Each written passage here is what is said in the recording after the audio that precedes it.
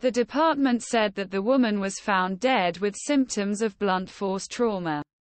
Police said that a preliminary investigation had been called for a missing person shortly before the discovery. Murder detectives are trying to inform the victim's family and therefore did not release their name.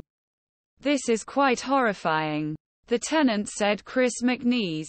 I mean, it's just a bad thing to be anywhere in the city. But it's hard to imagine why this will be in this building. In this case, if you have information that can help the detectives, contact the department by phone 410396210 or Metro Crime from 18667 lockup.